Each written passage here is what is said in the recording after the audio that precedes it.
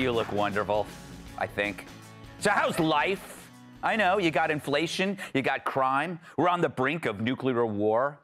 But thank God these bozos have their priorities straight. That the committee direct the chairman to issue a subpoena for relevant documents and testimony under oath from Donald John Trump. Those in favor will say aye. Aye. aye. Mr. Chairman, on this vote, there are nine ayes and zero noes. The resolution is agreed to. Mmm, nine eyes like a fly. Is that right? I don't think so. I don't think, no, I don't think so either. But there's a shocker. Just 25 days before the midterms, the Jan 6 panel votes unanimously to subpoena Trump. That's about as surprising as the final score at a Harlem Globetrotters game. and it's about as spontaneous as Adam Schiff's face. Does that make sense? No. And what a coincidence. It happens the same day the inflation number comes out, and it's higher than Hunter Biden on free crack day. Crime is exploding like a can of Sprite left in a freezer too long. The borders are as open as the West Wing's windows when Joe forgets his Lactaid pills. Kids are getting dumber, and I have to walk over a drugged out zombie just to get to work. So why not? Let's go after Trump, screams the Dems. This guy's been in more fake trials than the cast of Law and Order. But the hope is the news cycle will shift from Biden's disasters to the orange monster who can make Adam Kinzinger cry like he's cutting onions while his nuts are in a vice. Terrible. So will this distraction overwhelm the public enough that they'll forget it costs 100 bucks to fill up a tank of gas or 15 bucks for a pack of hot dogs? You heard right. Joy Behar's lunch costs 15 bucks. 15 bucks, it's true, for a pack of hot dogs. Did someone blow up the Oscar Mayer pipeline too? Can't the president tap into our tube steak reserves? Look, surveys tell us everyone what everyone cares about. It ain't Jan 6. It's the economy, it's crime. January 6th is less important than Todd Piro's time slot. Someone's watching. Probably your family. Here's why. January 6th is not eating away at your retirement fund. It's not mugging people on the subways. It's not killing people by the tens of thousands like fentanyl. And it's certainly not elevating possibility for nuclear war as we pour billions into a conflict thousands of miles away. And I don't mean Kat's honeymoon. Each one of those things is an urgent matter. People are dying on the streets, in their beds, and soon maybe everywhere else. They have us so close to a nuclear disaster you can practically taste the plutonium, which reminds me of Dana's queso. now, that was worse. But January 6th, that's the concern. It's their Hail Mary. No wonder so many are leaving the party like the keg is empty and the cops just showed up, including this smart woman. I can no longer remain in today's Democratic Party. It's now under the complete control of an elitist cabal of warmongers driven by cowardly wokeness who divide us by racializing every issue and stoking anti white racism, who actively work to undermine our God given freedoms enshrined in our Constitution, and who are hostile to people of faith and spirituality, who demonize the police, who protect criminals at the expense of law abiding Americans. You know, that lady I think she makes a lot of sense. I should have her on.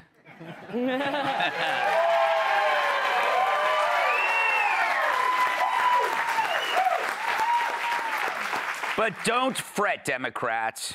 You lost to Tulsi, but you gained to Liz Cheney. but I'm starting to think the Dems screwed up with this insurrection theater. I predict it's going to backfire like Eric Swalwell after an extra large bean burrito. It's not going to jail Trump. It's going to get him reelected. There's going to be a red dawn starting with an orange dawn. And here's why. Anytime you watch the hearing, you see that the committee was more stacked than Dolly Parton playing Jenga. and it's bursting. It's bursting with contempt for Trump and his supporters. A witch hunt armed with preordained conclusions and empowered with unlimited time and effort, all on the taxpayer's dime, which is now worth only three cents since Biden took office. They're having a trial where the prosecution and judges are on the same side and opposed by no one. With that setup, I could convict Tom Hanks of murder. And I just might. And it just validates Trump supporters' suspicions that the fix is in and the fix was always in. So the Dems are right. The hearings are going to anger some Americans, but not in the way they think. People don't swallow BS unless even when you hide it in kill meat sandwich. Fact is, this country has big problems economy, crime, the border, Harry and Meghan. what are we going to do with them? But the Dems work to distract rather than attack the problems. Imagine if they spent all their energy on these issues instead of political theatrics. It's like they're all frustrated movie directors. Rather than solve the problems head on, they find weirder things to do, like convincing children they'd be happier sterile. Rather than tackle the border, they want to audit Ron DeSantis. Yeah, that's just what America asked for. Never mind our sovereignty is being invaded. Let's find out if he was really talking politics when he wrote off that dinner at the Outback Steakhouse. They'll weaponize anything against their enemies. It's just like how Taylor Swift weaponized her music after I dumped her. I moved on, Taylor. It's about time. So I hope the Dems get shellacked and maybe learn a lesson because they never address a problem until they can see the political consequences approaching. But by then, so much damage has been done, the problems are not only worse, but perhaps unsalvageable, much like CNN. I mean, imagine if the Dems tried to tackle the problems. They could prevent a lot of suffering.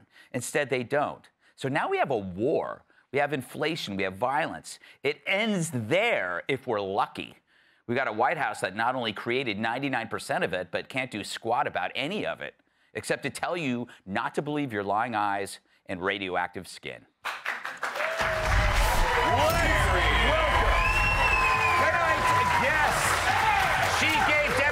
A piece of her mind, and it's the most brains they've had in years. Former presidential candidate and host of the Tulsi Gabbard Show podcast, Tulsi Gabbard. If he's the first thing you see upon waking, you're either watching Fox or he broke into your house. Co-host and Fox and Friends first, Todd Piro. She's like a Reese's Pieces. Tiny, shiny, and smells like peanut butter. Fox News contributor Kat Timpf. and he defeats people with his skull by outthinking them and also headbutts. My massive sidekick and NWA World Television Champion, Tyrus.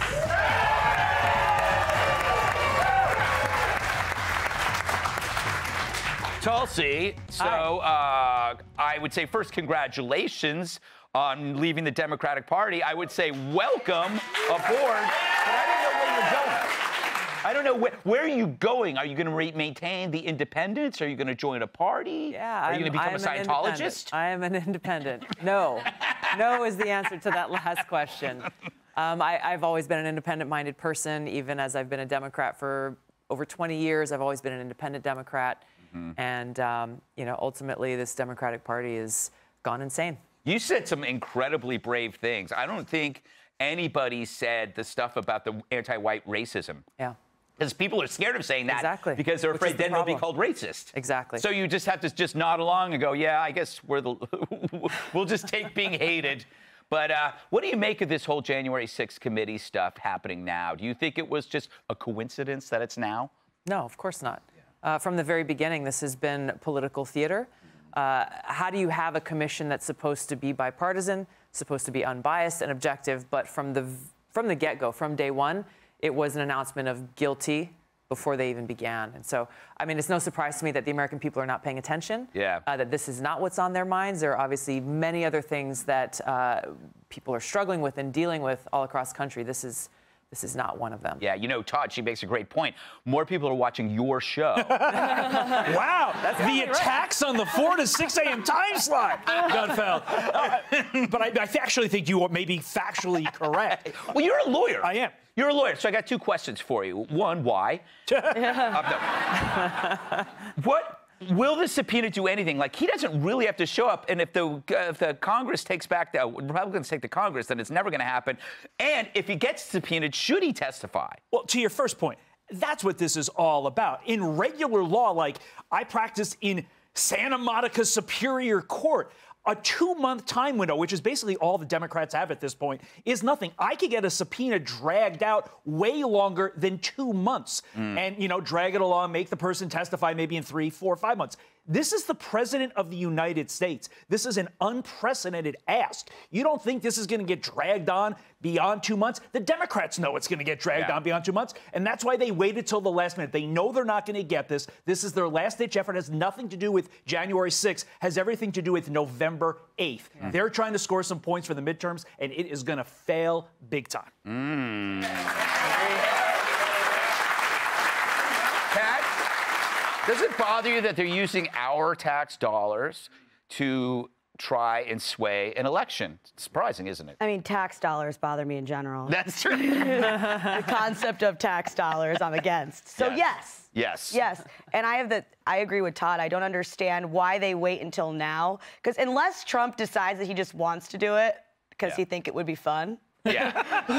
That's a lot of the reasons. which is a possibility. It's true. He's not a guy where he's like an audience. No, thank you.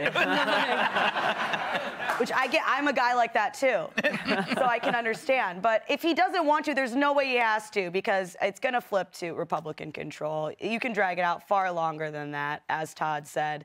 And if they really wanted to, they could have had him be one of the first people they asked, but they didn't. But Liz Cheney's obviously gone all in with this. This is her thing.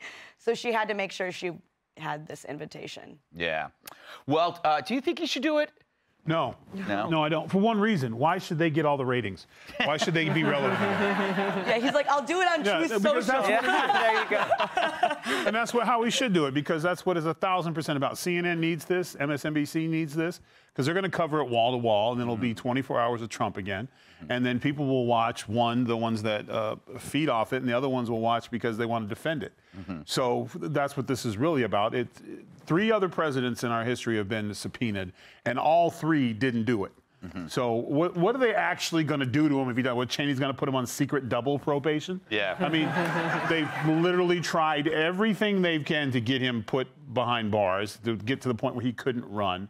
So now they're going to have him come out, and even if he did, what, what would it have been? They all would have made their little speeches, and every time he spoke, oh, you're out of time, you're out of order. Like, it it's a waste of his time. It- it- he never listens, but, uh, Mr. President, do not punch down and do not bring them up. You know, though, I have to say this. Imagine, Tyrus, how great this show would be every night if he was testifying every day. Yeah, but we wouldn't even have to work. We would just come in here and just roll tape. But this is the pro- and it's not and, and it's not just President Trump. Whenever someone or a group decides to make accusations against you with no foundation or no basis for anything other than just to ruin you or besmirch your name, the worst thing to do is engage them. The only people that you have to be clear with when you're made a, a damaging accusation or, or uh, alleged has been thrown against you by people who don't have anything to do with law enforcement is to engage. The only people you have to be good with is your family, your friends, and your job. You don't owe them an explanation. He didn't, and if he didn't do anything wrong, which we, the FBI has said he hasn't, he has nothing to discuss with them. So there's no point. Mm-hmm. Don't feed the fire. All right. Well, like I said to my masseuse, we'll have to leave it there. Up next, biological men get the shaft when it comes to the draft. If you'll be in the New York area and would like free tickets to see Gutfeld, go to foxnews.com slash Gutfeld and click on the link to join our studio audience. Hey, Sean Hannity here. Hey, click here to subscribe to Fox News YouTube page and catch our hottest interviews and most compelling analysis. You will not get it anywhere else.